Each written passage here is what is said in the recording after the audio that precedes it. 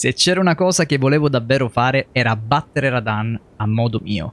E beh, ragazzi, ci siamo riusciti. Finalmente direi anche, perché ho provato diverse combinazioni per cercare di trovare la soluzione affinché potessi batterlo senza utilizzare build rotte, build che bisogna bisciottarlo, trisciottarlo, quadrisciottarlo. No, io, come vi dicevo nell'altro video, io volevo combatterlo, quindi dover schivare, dover spostarmi, dovevi fare molto male, quindi attaccare più volte.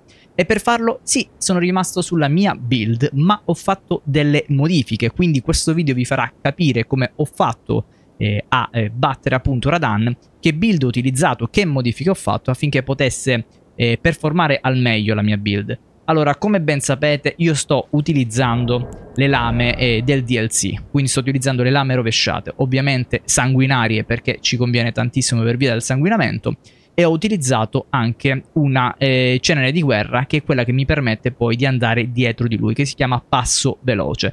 Questa mi ha aiutato tantissimo in alcune occasioni dove non potevo schivare sempre al 100%.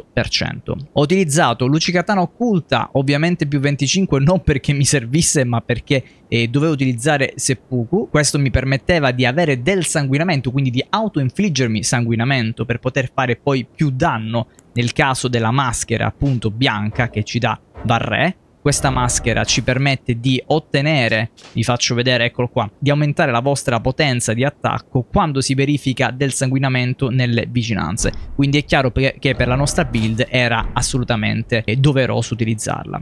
Poi ho utilizzato, vabbè, tutta la corazza della sentinella dell'albero perché ragazzi ci dà mm, banalmente una resistenza maggiore al sacro, dato che eh, Radan fa molto danno sul sacro eh, ho preferito mettere questo tipo di armatura e in combinazione ho anche aggiunto il talismano del drago sacro più 2. Questo è quello che mi trovavo. Ovviamente ho utilizzato anche il sigillo della eh, comunione draconica più 9, ancora lo devo portare a più 10. Perché ragazzi? Perché ho, ho sfruttato fiamma dammi la forza eh, anzi fiamma, fiamma donami la forza, giusto per aumentare più possibilmente la nostra eh, potenza d'attacco. Oltretutto abbiamo il balsamo che secondo me è doveroso parlarne perché?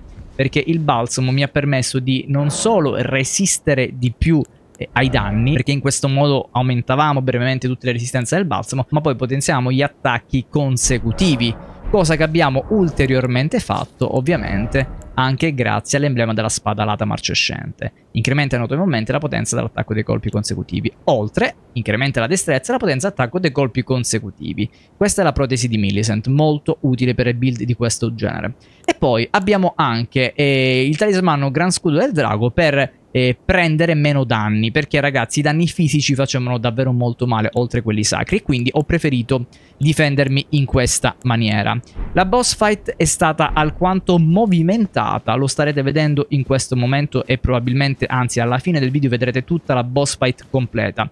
Questa è stata una delle più difficili, anzi la più difficile in assoluto per quanto mi riguarda, perché come vi dicevo nella seconda fase succedono cose che secondo me non dovrebbero succedere non con quella potenza non con quelle con quella predominanza continua di attacchi e che non si può ovviamente quasi mai schivare tutto se non perfettamente. È una boss fight che richiede tantissima concentrazione, è una boss fight che richiede comunque abbastanza danno. Perché? Perché più durerà più sarà complicato poi portarla a termine.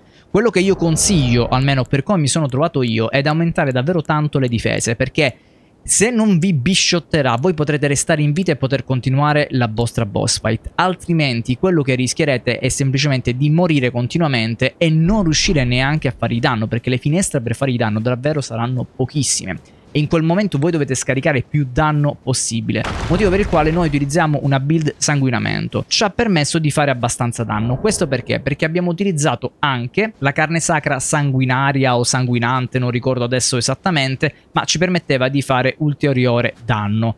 Questa combinazione di cose, quindi la carne, il fatto di fare seppuku, il fatto di eh, aumentare, eh, cioè utilizzare il nostro balsamo e anche fiamma donami la forza, e ci permetteva subito di fare abbastanza danno nella prima fase quindi arrivavamo automaticamente, continuamente, sempre nella seconda.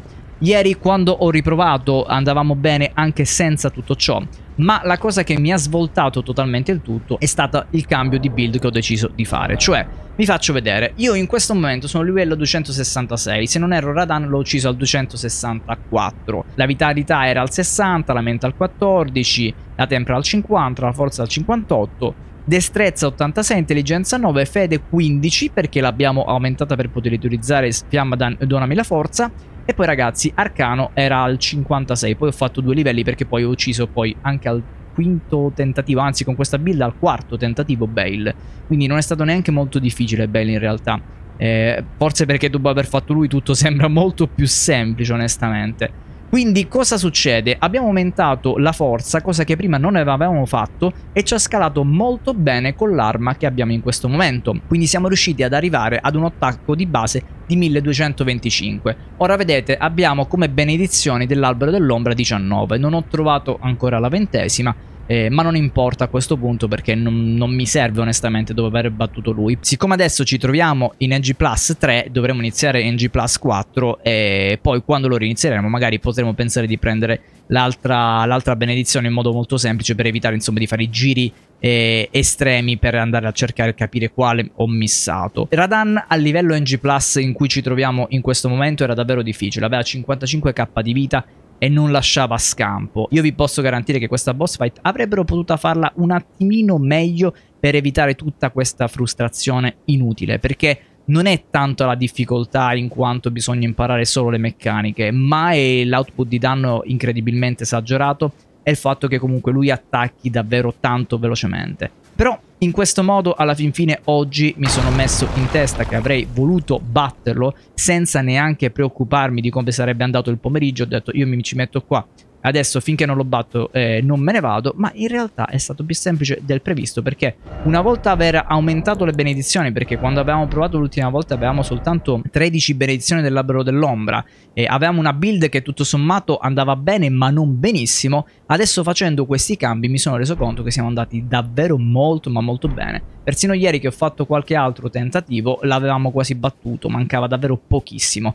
Quindi io sono rimasto molto ma molto soddisfatto. Fatemi sapere voi adesso se questa build vi piaccia. Io onestamente la trovo abbastanza utile. Non è sbroccata perché non vi permette ovviamente di fare i trilioni di danni, però vi permette di fare abbastanza danno, soprattutto all'inizio quando avete tutto attivo e passate subito alla seconda fase. Subito per modo di dire, comunque dovrete schivare, colpire, schivare, colpire e, e, poi la seconda fase vi faccio vedere come l'ho fatta. Almeno questo è il modo che ho utilizzato io, non è il modo corretto. Adesso vi lascio al video completo dove potrete voi stessi analizzare il fight. Non è uno tra i migliori che mi sia riuscito, ho fatto fight migliori ma non sono riuscito a battere, ma in questo fight in realtà nonostante non sia andato super benissimo, comunque alla fine si è concluso con una vittoria per noi. Quindi ragazzuoli miei vi saluto, fatemi sapere qui sotto cosa ne pensate e naturalmente lasciate like e iscrivetevi al canale. Ciao!